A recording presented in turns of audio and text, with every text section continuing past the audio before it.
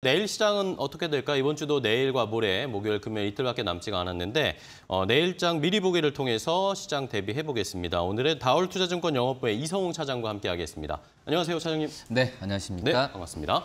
자, 일단은 오늘 시장 외국인의 매도도 꽤나 많이 나왔고요. 시장이 어, 내일이나 모레 어떻게 올라갈지 최근에 어쨌든 방향성 잡기가 정말 좀 힘든 것 같아요. 그래서 지금 이게 외국인들의 순 매도가 어, 거의 한 11주, 12주 만에 이제 그 순 매도로 좀 바뀌었거든요. 네. 그러면서 어, 이거에 대해서 우려스러운 어, 목소리가 좀 많이 있었, 있는 그런 상황인데 어, 제가 봤을 때는 이제 간단한 것 같아요. 이제 원래 그 전까지 최소한 이제 뭐 올해 미국에서도 금리 인하를 좀 기대했던 상황에서 금리 인하가 지금은 이제 미국에서의 어, 얘기를 뭐 들어보면은 종합적으로 보면 아무튼 올해는 안 할 가능성이 굉장히 네. 좀 커진 상태고 빠르면 이제 내년 1분기로 갈 텐데 뭐 그러기 때문에 이 금리에 대한 통화 정책에 대한 우려감으로 이 오늘도 그렇지만은 이제 환율이 그러니까 달러가 강세를 보이면서 외국인들이 매도 이게 이 부분이 지금 계속 지속이 되고 있는 현재 상황이고 어 여기에 지금 현재 그 미국 쪽도 그렇지만은 이 빅테크를 중심으로 한 이 차익 실현에 대한 매물 똑같이 우리나라도 이 수출주가 많이 있는 상황이고 그리고 빅테크에 대한 시가총액이 상당히 차지하는 상황에서 이 미국과 마찬가지로 이 차익 실현에 대한 우려감이 좀 있는 상황이거든요. 네. 뭐 그런 점에서 본다고 한다면은 이런 분위기는 제가 본다고 하더라도 아마 이 뭐 7월 중순까지는 가지 않을까라고 어. 지금 생각이 되고 있는 상황인데 근데 어 그나마 좀 다행이라는 부분은 이 다행이라는 말은 이런 낙폭에 대한 부분이 제한적으로 갈 확률이 굉장히 높은 게 우선 그 전에는 우리나라 증시도 그렇고 우리나라 기업들 실적이 이 펀드멘탈, 그 실적이 좋아진 수, 좋아질 이- 수 있다라는 부분이 불과 이제 뭐 지난달 까지만 하더라도 의구심, 물음표가 굉장히 심했었거든요. 하지만 최근에 어떤 이 기업들의 전체적인 어떤 순이익이나 여러 가지 면에서 봤을 때 추정치가 그나마 높아지고 있다는 점에서 봤을 땐 어, 주가가 어, 마무리 차익 실현 매물에 많이 노출된다고 하더라도 제한적으로 갈 확률이 굉장히 높다. 그렇기 때문에 어, 서두에 7월 중순에 말씀드렸는데 그 이후에는 반등에 대한 모습을 찾을 가능성이 좀 있지 않을까라고 좀 생각이 되고 있고요. 네. 한마디로 지금 이제 주도주가 많이 없는 상황이잖아요. 네. 앞서도 말씀하셨듯이 오늘 외국인들이 많이 산 종목이 이제 뭐 기아라고 지금 네. 말씀 말을 하셨는데 그만큼 이제 뭐 기아나 어떤 기아 기아와 같은 자동차 그리고 이 조선 업종, 그러니까 음. 그 글로벌 경기와 어, 미국의 영향을 많이 받는 이런 업종들이 주도주로 불거진다고 한다면은 지수의 반등은 다시 한번 올라갈 가능성이 크지 않을까라고 좀 생각이 됩니다. 네, 알겠습니다. 자, 일단은 어쨌든 최근에 시장 뭐 뚜렷한 방향성 찾기가 어려운데 7월에 넘어가서도 이런 분위기가 조금 더 이어질 가능성은 있다. 이것을 대비하면서 우리 시청자분들도 트레이딩을 하셔야 될 것 같습니다. 자, 그러면 내일 시장에서 살펴볼 만한 업종, 섹터도 좀 체크해 볼까요?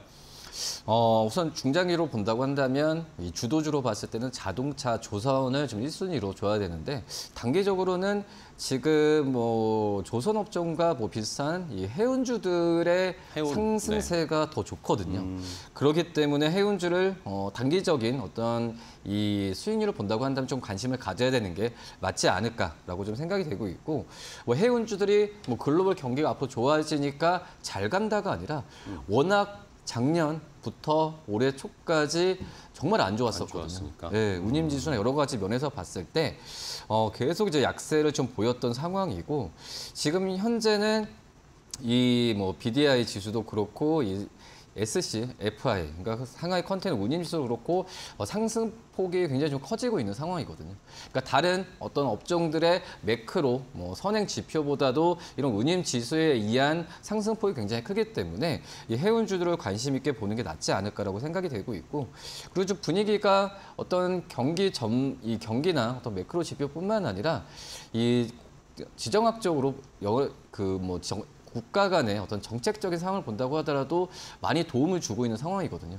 뭐 특히 이제 이 중국 쪽에서의 이 경기 부양, 뭐 인프라 투자나 여러 가지 면에서 그 정책을 지금 계속 내놓고 있는 상황이기 때문에 이 부분이 해운주들이 일차적으로 좀 반응을 하는 모습 보여주고 있고 이 중국 같은 경우에도 이 리오프닝을 공격적으로 이제 시행을 했지만 실질적으로 이제 효과 부분이 지금 굉장히 좀 미미하거든요. 그렇기 때문에 바로 이제 드라이브로 이제 경기 부양이나 이런 인프라 투자를 계속 지금 내놓을 가능성이 있다라고 지금 생각이 되고 있고요. 뭐 그리고 이제 미국과 중국 간에 어 화해겠죠. 뭐 좋아하신다는 것보다도 네. 화해되는 이제 어떤 초입 구간이기 때문에 이 어떤 중국 쪽도 이 경기 부양에 대한 어 좀 그 더 드라이브를 걸수 있을 만한 환경이 조성되지 않을까 라고 좀 생각이 되고 있습니다. 뭐 그렇기 때문에 해운주들을 좀 관심 있게 봐도 괜찮지 않을까 판단되고 있습니다. 네, 좋습니다. 자, 작년 뭐 후반기부터 올해 초까지도 해운주들이 워낙 힘들었기 때문에 이제는 좀 턴이 돌아오지 않을까 한번 기대를 해보겠고요. 마지막으로 내일 시장에서 시초가 공략할 만한 종목도 보겠습니다.